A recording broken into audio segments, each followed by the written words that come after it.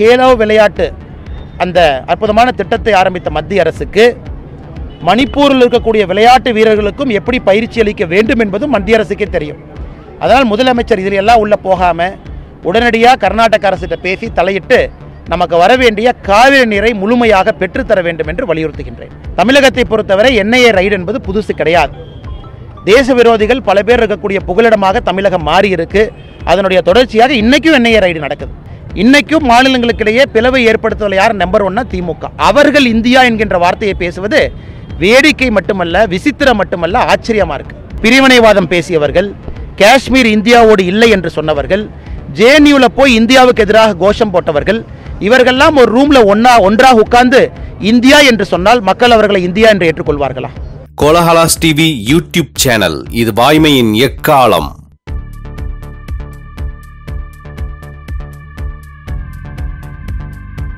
பத்திரிகை நண்பர்களுக்கு எங்களுடைய காலை வணக்கத்தை தெரிவித்து சகோதர சகோதரிகளை நான் இப்பொழுது சோழிங்கநல்லூர் பகுதியில் சென்னை மாமன்ற நூற்றி தொண்ணூற்றி எட்டாவது வார்டில் நம்முடைய மாமன்ற உறுப்பினர் அண்ணன் லியோ சுந்தரம் அவர்களோடு இணைந்து நம்முடைய மாவட்ட தலைவர் அண்ணன் சாய் சத்யன் அவர்களோடு இணைந்து நம்முடைய ஒன்றியத்தினுடைய தலைவர் சகோதரர் மோகன்குமார் அவரோடு இணைந்து ஒரு மாபெரும் கண்டன ஆர்ப்பாட்டத்திலே பங்கேற்றுக் கொண்டிருக்கின்றேன். இன்று தமிழகம் முழுவதுமே பாரதிய ஜனதா கட்சியினுடைய தலைவர்கள் தொண்டர்கள் அந்தந்த பஞ்சாயத்து அளவில் அந்தந்த வார்டு அளவில் ஆர்ப்பாட்டம் நடத்தி கொண்டிருக்கின்றார்கள். பத்து அம்ச கோரிக்கையை வலியுறுத்தி தமிழகம் முழுவதுமே பட்டி தொட்டி எல்லாம் பாரதிய ஜனதா கட்சியினுடைய தலைவர்கள் தொண்டர்கள் பொதுமக்கள் இணைந்து நடத்தக்கூடிய இந்த ஆர்ப்பாட்டம் என்ன? இன்னைக்கு திமுக ஆட்சிக்கு வந்து கிட்டத்தட்ட இருபத்தி ஆறு மாதம் முடிந்து இருபத்தி ஏழாவது மாதம். அப்படின்னா பாதி ஆட்சி காலம் திமுக அரசுக்கு முடிந்திருக்கிறது.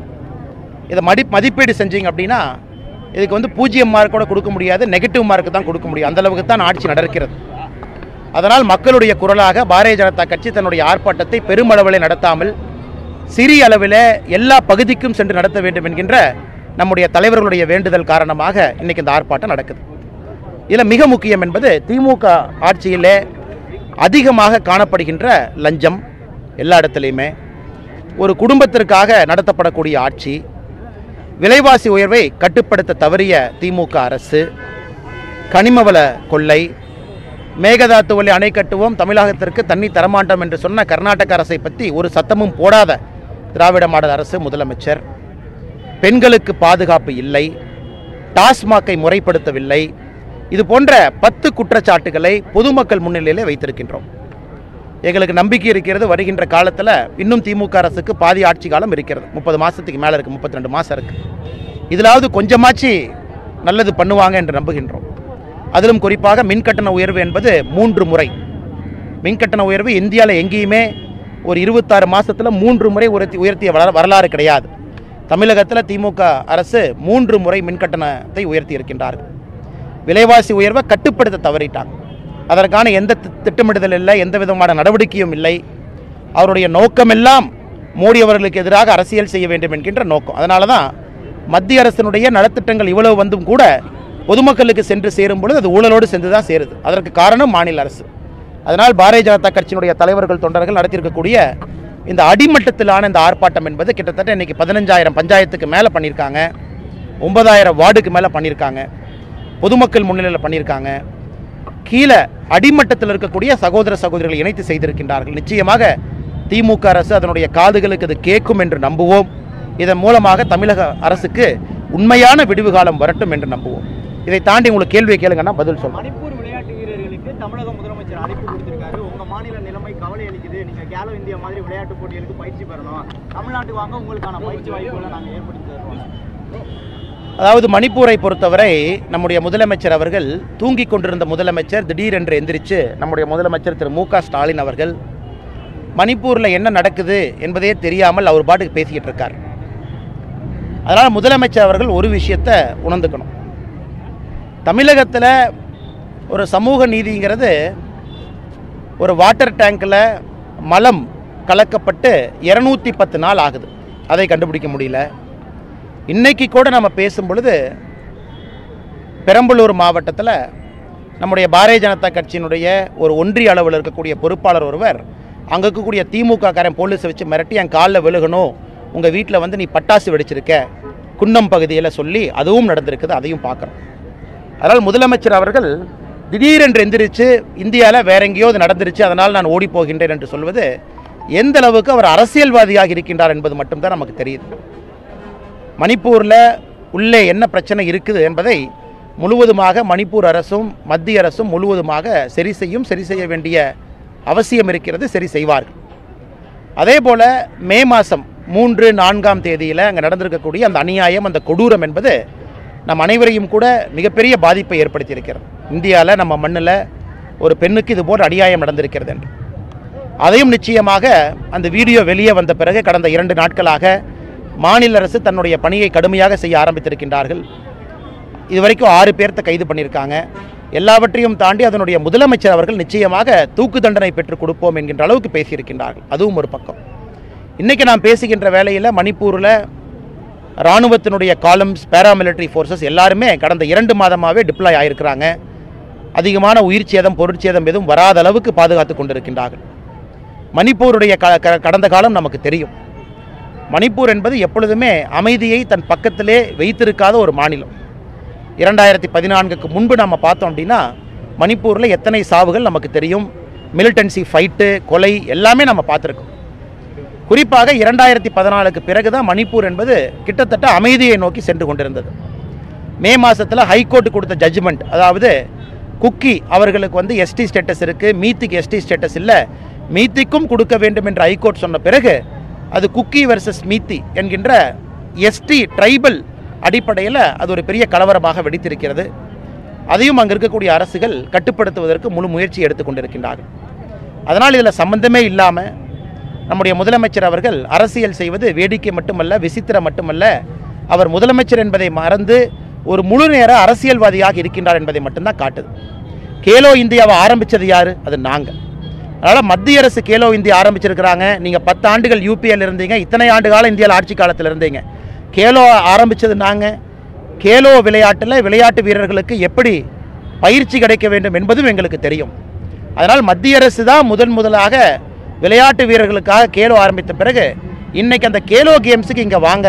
என் முதலமைச்சர் என்ன அடிக்கடி நினச்சிக்கிறாருன்னா அவருடைய மகன் உதயநிதி ஸ்டாலின் அவர்கள்ட்ட விளையாட்டுத்துறை இருக்குது அதனால் உதயநிதி ஸ்டாலினை முன்னிலைப்படுத்த வேண்டும் என்பதற்காக விளையாட்டு விளையாட்டு என்று சொல்லிக் கொண்டிருக்கின்றார்கள் அதனால் கேலோ விளையாட்டு அந்த அற்புதமான திட்டத்தை ஆரம்பித்த மத்திய அரசுக்கு மணிப்பூரில் இருக்கக்கூடிய விளையாட்டு வீரர்களுக்கும் எப்படி பயிற்சி அளிக்க வேண்டும் என்பதும் மத்திய அரசுக்கே தெரியும். அதனால் முதலமைச்சர் இதில் எல்லாம் உள்ள போகாமல் உடனடியாக கர்நாடக அரசிட்ட பேசி தலையிட்டு நமக்கு வர வேண்டிய காவிரி நீரை முழுமையாக பெற்றுத்தர வேண்டும் என்று வலியுறுத்துகின்றேன். தமிழகத்தில் என்ஐஏ சோதனை நடந்துகிட்டு இருக்கு? நான் தமிழகத்தை பொறுத்த வரைக்கும் இன்னைக்கு நிறைய தேச விரோதிகளுடைய புகலிடமாக தமிழகம் மாறியிருக்கு. என்ஐஏ சோதனை இப்போ புதுசு இல்லைங்கன்னா கடந்த இரண்டு வருடமாக பார்க்கும் பொழுது என்ஐஏ சோதனை சோதனை என்பது ஐஎஸ்ஐஎஸ் தொடர்பு இருக்கக்கூடிய ஆன்லைன் மாடியூல் மோட்டிவேட்டட் இங்கே இருக்கக்கூடிய லோன் உல்ஃப் அவங்க மேலே சோதனை நடத்தியிருக்காங்க கோயம்புத்தூரில் தற்கொலைப்படை தாக்குதல் அது என்ஐஏ கையில் கேஸ் இருக்குது சார்ஜ் ஷீட் போட்டிருக்காங்க. சென்னையில் இதற்கு முன்பு என்ஐஏ ரைடு ரெண்டு மூணு இடத்துல நடந்திருக்கு அது பார்த்துருக்கோம். தமிழகத்தை பொறுத்தவரை என்ஐஏ ரைடு என்பது புதுசு கிடையாது. தேச விரோதிகள் பல பேர் இருக்கக்கூடிய புகலிடமாக தமிழகம் மாறி இருக்கு அதனுடைய தொடர்ச்சியாக இன்றைக்கும் என்ஐஏ ரைடு நடக்குது. தினம் தினம் இங்கே இது போன்ற குற்றச்சம்பவங்கள் அதிகரித்து கொண்டிருக்கிறது. காரணம் இங்கே இருக்கக்கூடிய அரசும் ஒரு காரணம். காவல்துறையினுடைய கையை கட்டி போட்டிருக்கிறாங்க. காவல்துறைக்கு சுதந்திரம் கிடையாது. காவல்துறைக்கு சுதந்திரம் இல்லாத பொழுது எல்லா தேச விரோதிகளும் தமிழ்நாட்டில் வந்து தஞ்சமுக ஆரம்பித்திருக்கின்றார்கள். அதனால் என்ஐஏ சோதனை முடிந்த பிறகு அவங்க எப்படி இருந்தாலும் ஒரு ப்ரெஸ் நோட் கொடுப்பாங்க. யாரை பிடிச்சாங்க என்ன பிடிச்சாங்கன்னு. அதன் பிறகு முழுமையாக இதை பற்றி பேசுவோம். தமிழகத்தில் குறிப்பாக ராமநாதபுரம் ராமேஸ்வரம் பகுதிகளில் பிரதமர் நதி நரேந்திர மோடி வரக்கூடிய நாடாளுமன்ற தேர்தலில் போட்டியிடுவார் அப்படின்னு ஒரு கருத்து நிலவுது. அதுக்கு வாய்ப்பு இருக்கிறதா? உங்களுடைய கருத்து அண்ணா இன்னைக்கு நான் பார்த்தீங்கன்னா தெலங்கானாவில் கொஞ்சம் நாளைக்கு முன்னாடி சுற்றுப்பயணம் போயிருந்தேன். தெலங்கானாவில் தொண்டர்கள் மோடி இங்கே தான் போட்டியிடணும் அப்படின்னு. இன்னைக்கு கேரளாலையும் பார்த்தீங்கன்னா மோடி அவர்கள் திருவனந்தபுரத்தில் வேறு இடத்துல போட்டியிடணும். ஸோ இந்தியாவில் எல்லா மாநிலத்திலும் அந்தந்த தொண்டர்கள் வந்து மோடி அவர்கள் எங்கள் தொகுதியில் எங்கள் ஊரில் போட்டியிட வேண்டும் என்று சொல்வது எந்த விதத்திலும் தவறு கிடையாது. அவர்களுடைய ஆதங்கம் அது எதிர்பார்ப்பது. அதே போல் தமிழகத்தில் கோயம்புத்தூரில் போட்டி போடணும் ராமநாதபுரத்தில் போட்டி போடணும் கன்னியாகுமரியில் போட்டி போடணும் எல்லா இடத்துலையுமே நம்முடைய தொண்டர்களும் இப்போ பொதுமக்களும் பேச ஆரம்பிச்சிட்டாங்க. அதனால் எங்களை பொறுத்தவரை மோடி அவர்கள் எங்கே போட்டியிட்டாலும் சந்தோஷம்தான். அதுவும் குறிப்பாக தமிழகத்தில் போட்டியிட்டாங்கன்னா இரட்டிப்பு சந்தோஷம். அதற்கான அதிகாரப்பூர்வமாக யாரும் இதுவரை எதுவும் சொல்லவில்லை. அப்படி ஏதாச்சும் திட்டம் எடுக்குன்னா நிச்சயமாக உங்கள்கிட்ட நாங்கள் அதை பற்றி பேசுகிறோங்கண்ணா ஆனால் எதிர்பார்ப்பு இருக்கிறது. அதிகாரப்பூர்வமாக எந்த அறிவிப்பும் இல்லை. தொண்டர்கள்ட்ட பொதுமக்கள்கிட்ட எதிர்பார்ப்பு இருக்கு. பேர் வச்சிருக்காங்க. அதை வந்து எதிர்க்கட்சியினர் வந்து அப்போசிஷன் பார்ட்டிஸ் வந்து இந்தியா அப்படிங்கிற அலையன்ஸ் பேரை வச்சு பிரச்சாரம் வந்து முன்னெடுக்கிறாங்க. மாதிரி நான் இந்தியா என்று சொன்னால் உள்ளத்திலே அந்த உணர்வு இருக்கணும். ஒரு இந்தியன் என்று சொல்லும் பொழுது உன்ன உள்ளத்தில் ரத்தத்தில் டிஎன்ஏல இந்தியன் என்கின்ற உணர்வு இருக்கணும். உதாரணத்துக்கு இது ஒரு ஒரு கட்சியாக பார்ப்போங்கண்ணா. திரு மு க ஸ்டாலின் அவர்களை எடுத்துக்கொள்வோம். இந்த கட்சி ஆயிரத்தி தொள்ளாயிரத்தி அறுபதுல காலகட்டத்தில் பிரிவினை பேசின கட்சி. பிரிவினை பேசின கட்சி. அப்புறம் வந்து நேரு அவர்கள் கேபினெட்டில் எந்த அரசியல் கட்சி பிரிவினை பேசுகிறீங்களோ உங்கள் மேலே பொலிட்டிக்கல் அந்தஸ்தை ரத்து பண்ணிடுவோம் ஒரு ஸ்பெஷல் சட்டத்தை கொண்டு வர்றோம் கான்ஸ்டியூஷன் அமெண்ட்மெண்ட் கொண்டு வரோன்னு சொன்னோன்னே பிரிவினைவாதத்தை விட்டுட்டு இவங்க பேசிகிட்டு இருக்காங்க. இன்னைக்கும் மாநிலங்களுக்கிடையே பிளவை ஏற்படுத்துவதில் யார் நம்பர் ஒன்னா திமுக. அவர்கள் இந்தியா என்கின்ற வார்த்தையை பேசுவது வேடிக்கை மட்டுமல்ல விசித்திரம் மட்டுமல்ல ஆச்சரியமாக இருக்கு. அடுத்தது உமர் அப்துல்லா ஃபரூக் அப்துல்லா போன்றவர்கள். இந்தியாவோடு சேராமல் இருந்தவங்க. ஆர்டிகல் முன்னூற்றி எழுபது என்பது காஷ்மீருக்கு தனி சட்டம் தனி அந்தஸ்து. இந்தியாவோடு இணைந்திருந்தாமல் ஒரு பகுதி இருந்துச்சு. அதை எதிர்த்தவர்கள் இன்னைக்கு இந்தியாவை பற்றி பேசுகிறாங்க அடுத்தது இந்தியாவில் குறிப்பாக ஜேஎன்யூவில் நடந்த ஆர்ப்பாட்டத்துக்கெல்லாம் போய் தேசத்துக்கு எதிரான கருத்துக்களை பேசியவர்கள் காங்கிரசினுடைய தலைவர்கள்.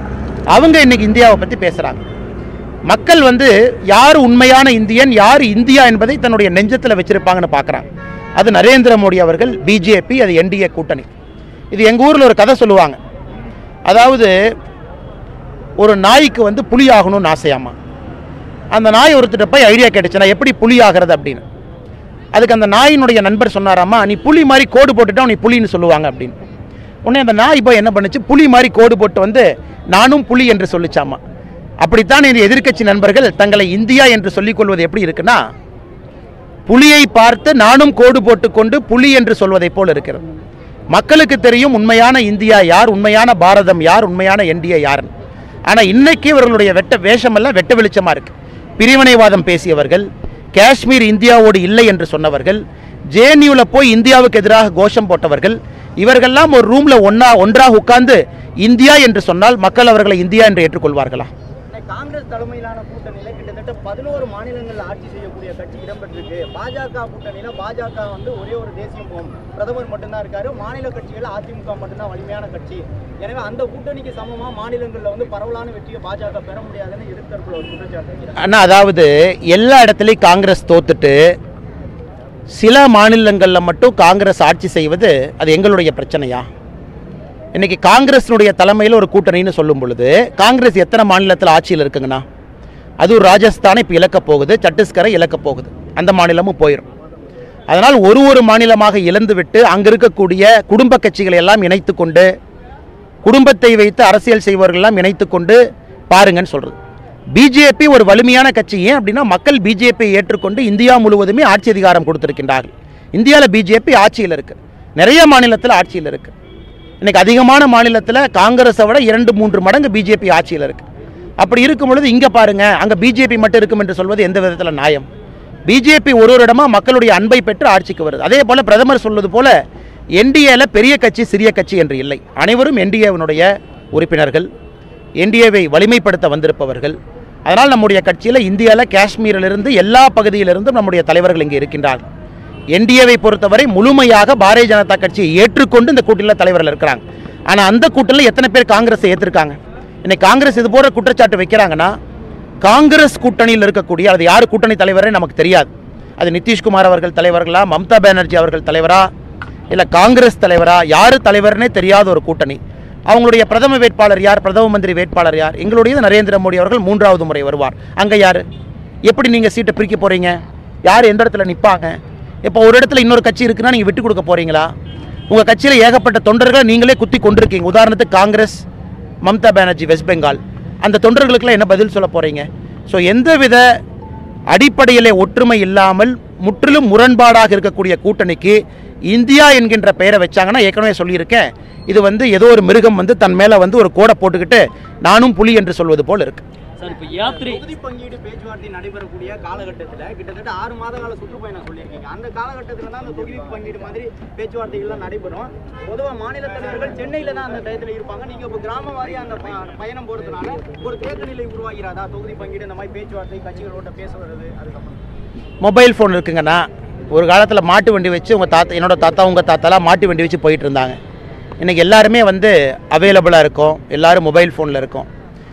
நாம் எதற்கு முக்கியமாக தமிழகத்தில் இந்த பயணம் பாரதிய ஜனதா கட்சி முன்னெடுக்கிறாங்க அப்படின்னா குறிப்பாக பிரதமர் அவர்கள் மூன்றாவது முறையாக வர வேண்டும். தமிழக கலாச்சாரத்துக்கு தமிழக மக்களுக்கு என்ன செஞ்சிருக்காங்க அப்படின்னு ஒரு ஒரு சட்டமன்ற தொகுதியிலையும் புள்ளி விவரத்தோடு சொல்ல போகின்றோம். இந்த புள்ளி இந்த சட்டமன்றத்துக்கு எவ்வளோ பணம் வந்திருக்கு? நம்ம என்ன செஞ்சுருக்கோம்? அதனால தான் இருநூத்தி முப்பத்தி நான்கு சட்டமன்றத்திற்கும் செல்ல வேண்டிய அவசியம் இருக்குது திமுகவினுடைய பணபலம் படபலத்தை எதிர்த்து பாரதிய ஜனதா கட்சி ஒரு ஒரு சட்டமன்றத்திற்கும் செல்ல வேண்டிய காரணம் இந்த அளவுக்கு இந்த கட்சி வேலை செய்திருக்கிறது. பிரதமர் அவர்கள் வேலை செய்திருக்கின்றார்கள். மூன்றாவது முறை நானூறு எம்பிக்களோடு அவர் வரும்பொழுது தமிழகத்திலிருந்து முப்பத்தொன்பது இடத்துலையும் பாரதிய ஜனதா கட்சி கூட்டணி கட்சிகள் செல்ல வேண்டும் என்பதுதான். அதனால் நடைபயணம் இப்போதாங்க நான் போகணும். போகிறதுக்கான காலம் இது. அது நிச்சயமாக நம்முடைய தொண்டர்கள் தலைவர்கள் சிறப்பாக செய்வார்கள் என்கிற நம்பிக்கை இருக்கு. சார் இப்போ இந்த நடைபயணன்றது கட்சி வளர்க்கும் பணியாக எடுத்துக்கலாமா? இல்லை தேர்தலுக்காக மட்டும் இந்த நடைபயணம் எடுத்துக்கலாமா? ஆனால் பாரதிய ஜனதா கட்சியினுடைய அரசியல் நீங்கள் பார்த்தீங்கன்னா எப்பொழுதுமே ஒரு தேர்தலுக்காக எப்பொழுதும் நம்முடைய அரசியல் கிடையாது. நாம் அரசியலை பொறுத்தவரை தொடர்ச்சியாக பார்க்கக்கூடிய கட்சி இரண்டாயிரத்தி இருபத்தி நான்கு இருபத்தாறு தொடர்ச்சியாக. அதனால் இவ்வளவு பெரிய நடை நடைபயணம் ஒரு கடுமையான ஒரு பயணத்தை பாரதிய ஜனதா கட்சி தொண்டர்கள் தலைவர்கள் எடுக்கிறாங்கன்னா கட்சி வளர்ச்சி. ஆனால் கட்சி இன்றைக்கி நாம் பேசும்பொழுது கூட சொன்னேன் தமிழகத்தில் அடிப்படையில் பஞ்சாயத்து அளவில் வார்டு அளவில் ஒரு போராட்டம் நடத்தும் அளவுக்கு இந்த கட்சி வளர்ந்திருக்கிறது. அது நடைபயணத்தின் போது அனைவரும் பார்ப்போம் என்பது நம்முடைய நோக்கம். அது மட்டும் இல்லாமல் இரண்டாயிரத்தி இருபத்தி நான்கு தேர்தல் என்பது அருகில் இருக்கக்கூடியது. அதுதான் முதல்ல முக்கியம். அதில் பாரதிய ஜனதா கட்சி நானூறு எம்பிக்களை தாண்டி தமிழ்நாட்டில் முப்பத்தொம்பது எம்பிக்களோடு ஆட்சிக்கு வரணும். அது முதல் இலக்கு. அதே நேரத்தில் கட்சியும் அடிப்படையில் எல்லா இடத்திலும் வளர வேண்டும் என்பதும் இலக்கும். இரண்டும் சேர்ந்துதான் இந்த பயணத்தை பாரதிய ஜனதா கட்சி தலைவர்கள் தொண்டர்கள் முன்னெடுக்கின்றார்கள். எல்லாம் முடிஞ்சுதாங்கண்ணா? Kolahalas TV YouTube channel. இது வாய்மையின் எக்காலம்.